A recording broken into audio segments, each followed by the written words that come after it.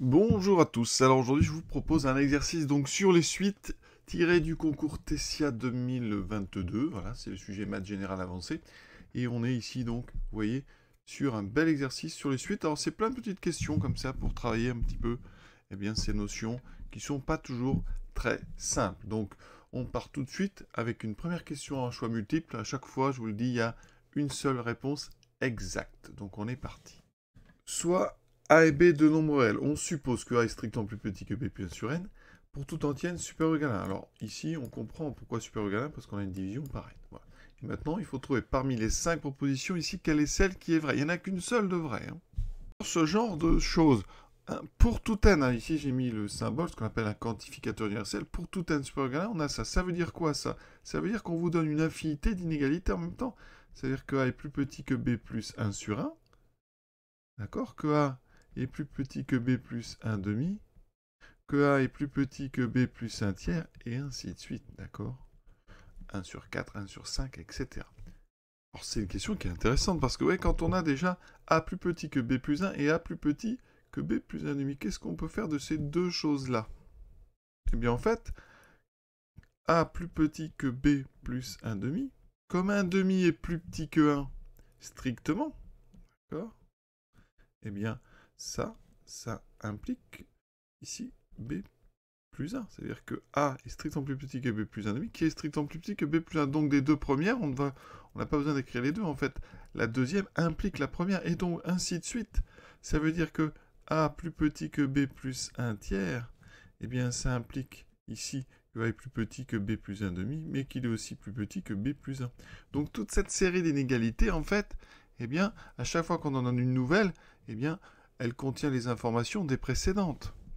Et donc on va en fait passer ici à la limite quand n tend vers plus l'infini. Alors quand on passe à la limite, les inégalités strictes se transforment en inégalités larges. Donc en passant à la limite, donc ici, quand n tend vers plus l'infini, on va obtenir A. Ici, on obtiendra B parce qu'elle sur n tend vers 0.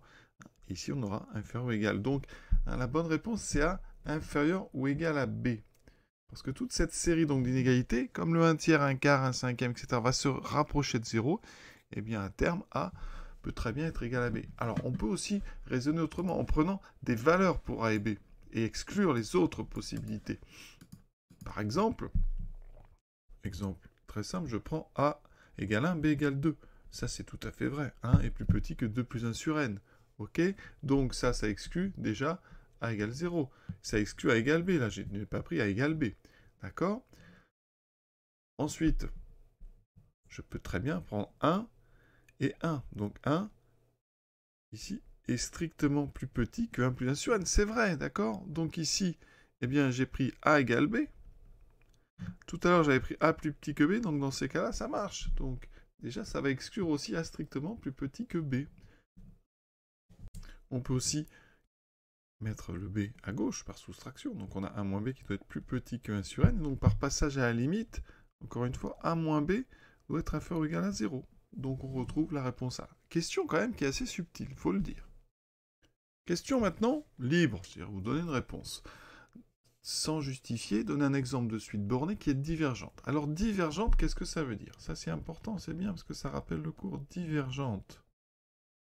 Ça implique soit limite plus l'infini, ou limite moins l'infini, soit pas de limite.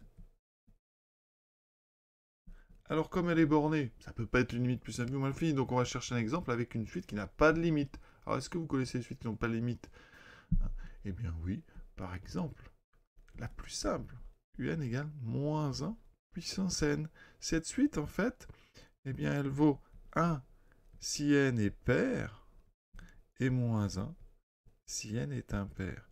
Elle n'a pas de limite, justement, parce qu'elle oscille entre 1 et moins 1, vous voyez? Donc ça, c'est vraiment une suite importante pour donner des contre-exemples. De suites, donc, qui sont bornées sans avoir de limite. Vous avez par contre, c'est une suite qui contient deux sous-suites. La suite des pairs qui est convergente vers 1 et la suite des impairs qui est convergente vers moins 1.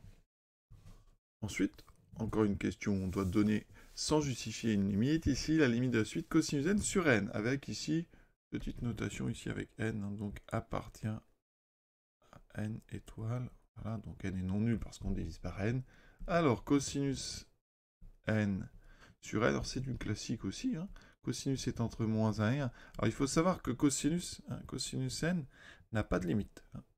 N'a pas de limite, c'est-à-dire cette suite-là, d'accord, elle n'a pas de limite, parce que cosinus oscille comme ça, avec des valeurs différentes à chaque fois, donc très compliqué cette suite, n'a pas de limite en plus l'infini. Donc, eh bien, on va falloir raisonner par encadrement. Cosinus n est entre moins 1 et 1, d'accord? Elle est bornée par contre. On divise par n qui est positif strictement. Donc ici, on obtient cosinus n est entre moins 1 sur n et 1 sur n. On utilise le théorème des encadrements, théorème des gendarmes, ça tend vers 0, ça tend vers 0. Donc la suite ici tend elle aussi vers 0. Donc la limite de la suite cos n sur n, c'est 0. Maintenant des vrais ou faux. On prend une suite un décroissante, d'accord? un décroît. Et la suite un carré est majorée, d'accord? Donc qu'est-ce que ça veut dire un carré majoré? Donc un au carré est majoré. Ça veut dire quoi? Il existe, donc je vais utiliser des symboles en mathématiques, il existe donc un nombre grand M appartenant à R, pardon, tel que, eh bien, quel que soit n, donc ici appartenant à grand N, puisque la suite UN est définie à partir sur n, eh bien, il existe un grand M tel que pour tout n, un au carré est plus petit que grand M. D'accord? En français, ça donne ceci. Il existe un réel grand M tel que, ou en français, qui majore tous les termes un carré. Autrement dit,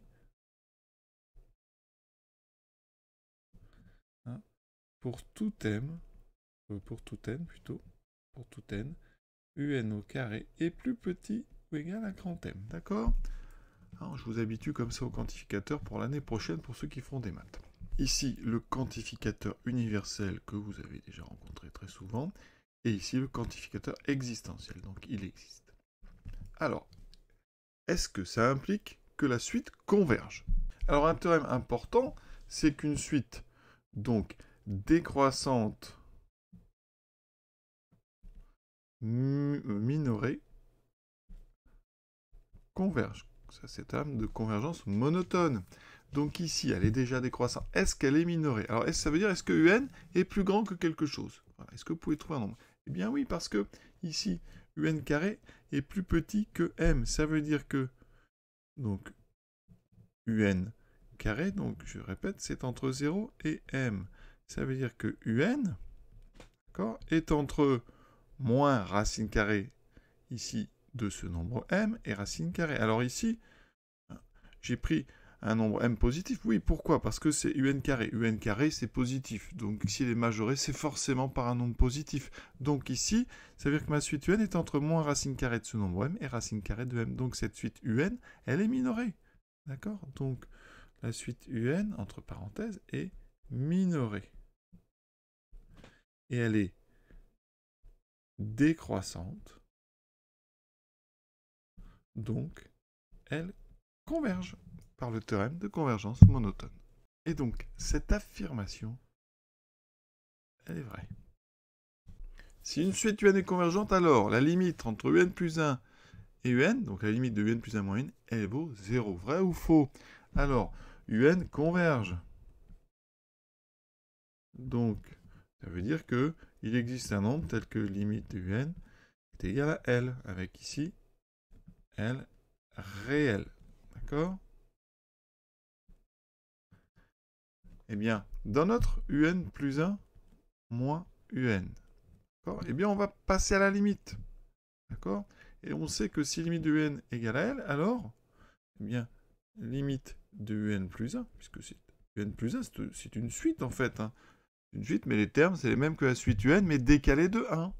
Donc ici, la limite de n plus 1, c'est aussi égal à L. Quand un converge, un plus 1 et un ont la même limite. Donc ici, un plus 1 moins n tend donc vers L moins L. On peut passer à la limite, puisqu'on a ici deux suites qui convergent.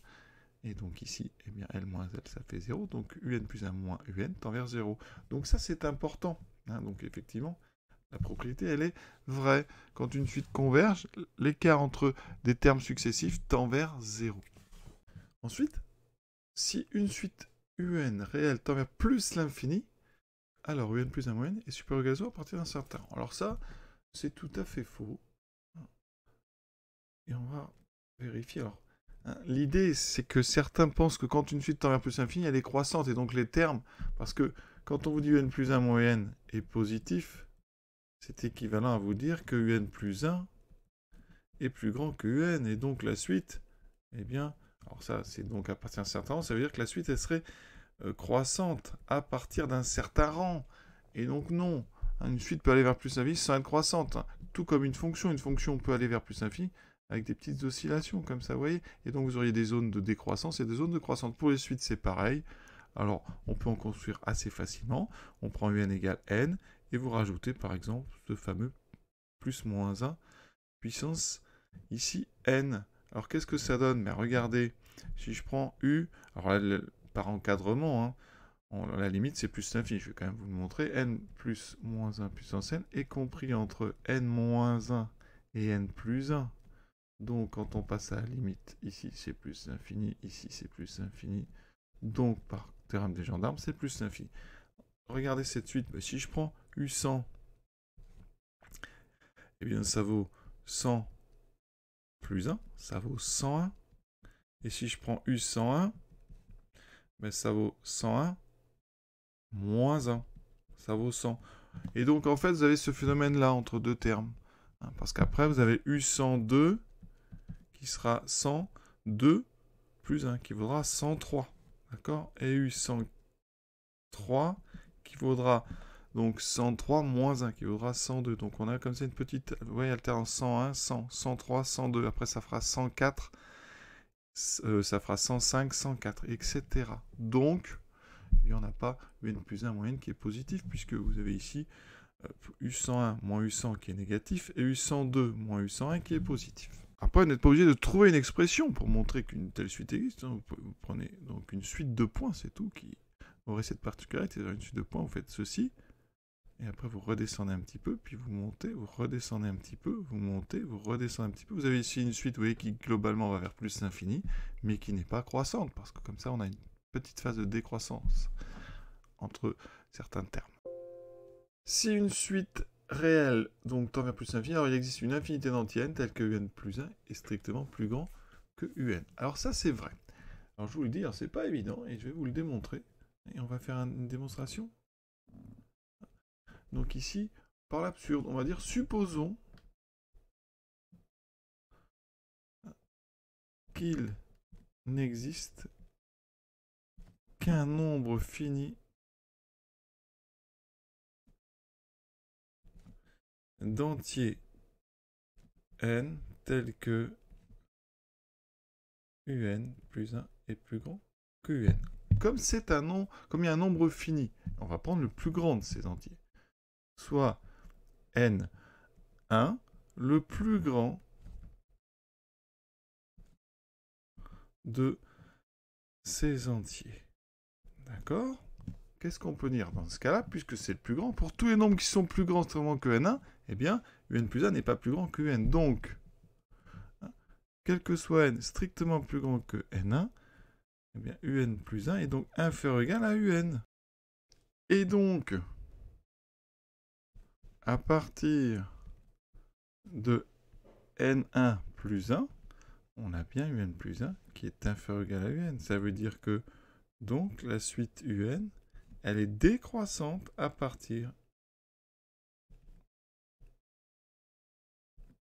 de, donc ici, n plus 1. n1 plus 1. Et donc comme elle est décroissante, elle ne peut pas tendre vers plus l'infini. Donc c'est impossible qu'elle tende vers plus l'infini. Conclusion, mon hypothèse est absurde, donc il existe, il n'existe pas un nombre fini d'entiers, il en existe donc une infinité. Donc la propriété, elle est vraie. Cette série de questions sur les suites est terminée. Très très belle série, hein. assez compliquée quand même, et intéressant. Je vous souhaite une bonne fin de journée à tous en espérant que ça vous ait plu.